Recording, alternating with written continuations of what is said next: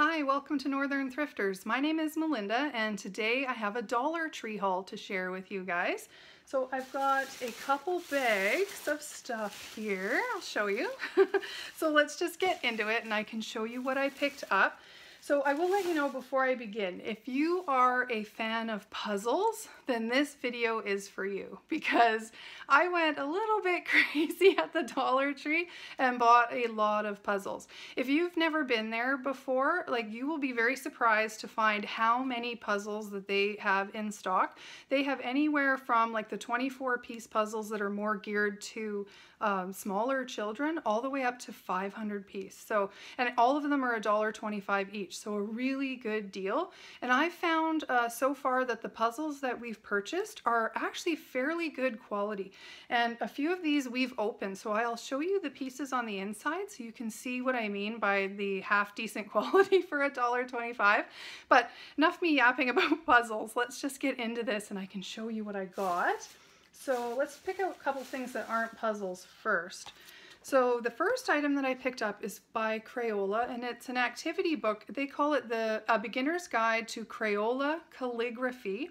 It says easily learn the art of calligraphy and you use it with Crayola broadline or super tip markers, which we have a ton of. If you're like me who have kids, you have a lot of markers.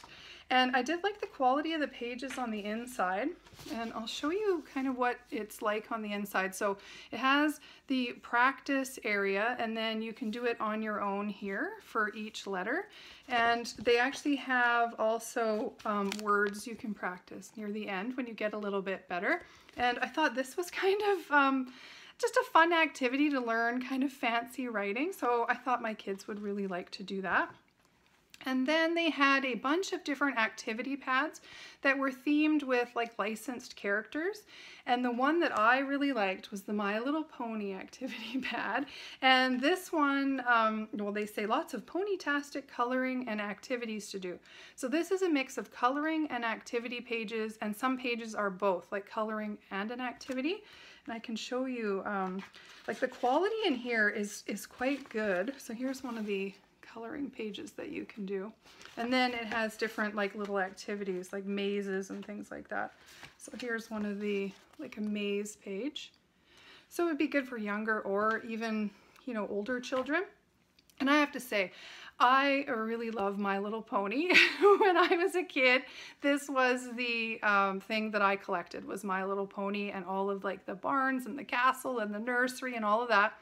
And actually, I still have all of my My Little Pony from when I was a kid. It's, it takes up a huge space in our storage room, but I have yet to get rid of it and I'm in my mid 40s. I don't think I'll ever get rid of it, but um, yeah, let me know down in the comments, were you into My Little Pony like me and do you still have a ton of your My Little Pony toys?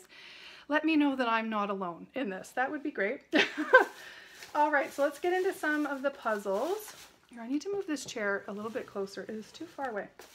Okay, so we'll start with some of these 100 piece puzzles.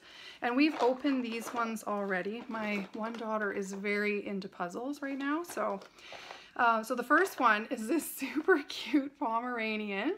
Just couldn't leave this little guy at the store. And that's the actual puzzle piece size there. It's kind of hard, I know, on camera to show you. But I will show you the quality because I am really impressed with these. Let's find a piece that will show up well. So you can see here, that's kind of the size compared to my hand.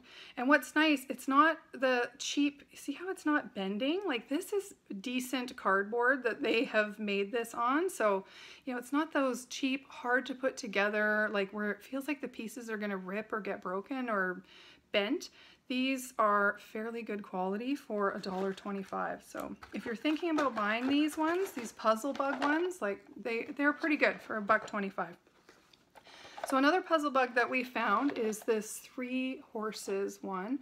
And this one was so pretty when it was put together. Like the colors are gorgeous on this. Like it's quite a nice one. It's actually one that I would consider like doing Mod Podge on and then put it in a frame or something. Like it's quite nice for a girl's room or well, even a boy's room. You know, anybody could like this kind of puzzle. And then this one, I think I, it's either a squirrel or a chipmunk. I'm not a biologist, so I'm not sure. It's one of those with a daisy, and I just thought it was kind of cute holding the little daisy. And then I found some 500 piece puzzles, and these ones we haven't opened yet.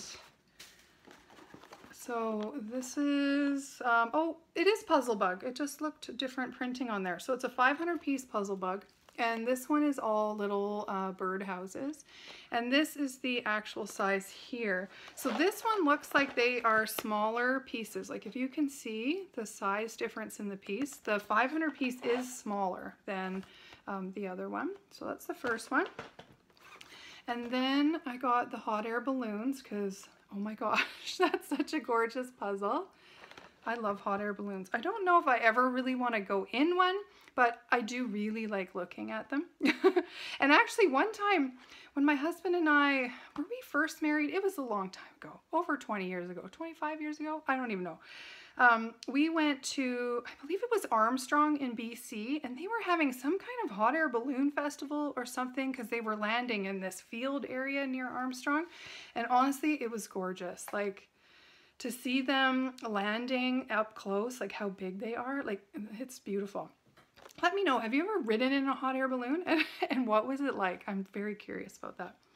So another 500 piece that we picked up from Puzzle Bug again or I picked up. I'm the only one going to the store. I always say we, because if you're like a, a mom like me, you okay, let, let's put it this way. Do you feel when you go shopping by yourself like you're almost naked because you're not with your kids? That's honestly how I feel. It's like I'm missing a part of myself or something. And I have actually found myself talking out loud like like my child is with me or more than one of my kids and I think people think I'm nuts, but that's just how I am. I'm so used to having my kids with me. The last couple months, it's been very strange for me to go shopping by myself. So yeah, I'm not sure. Let me know if you're like that. And I still say we, even though it is only me. but normally it's like I have at least one, if not more, of my kids with me. So this one, let's get back to the puzzle. I don't know why I'm talking so much today. I haven't talked to many uh, grown-ups lately. That might, that might be why, since I've been stuck at home. So this one I liked. If you've watched my channel, you know I love coffee and tea. And this one is all like different coffee uh, things. So there's coffee cups.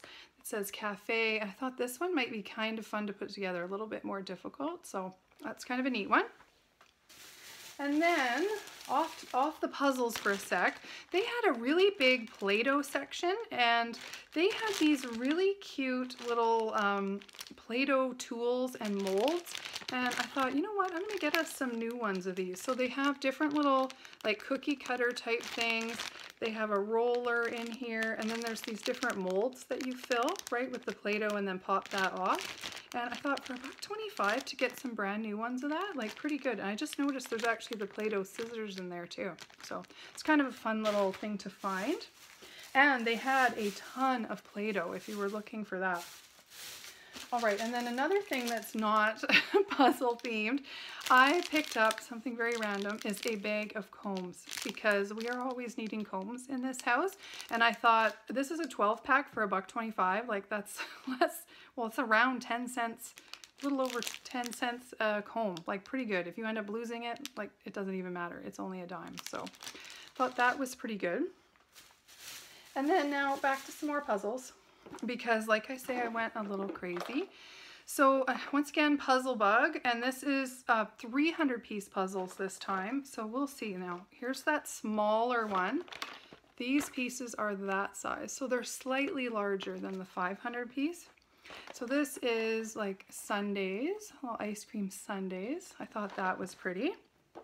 And then, oh yeah, these were cool. These were 100 piece ones and they were, they're all like Canada themed animals. So they had beaver, I think there was like a bobcat one.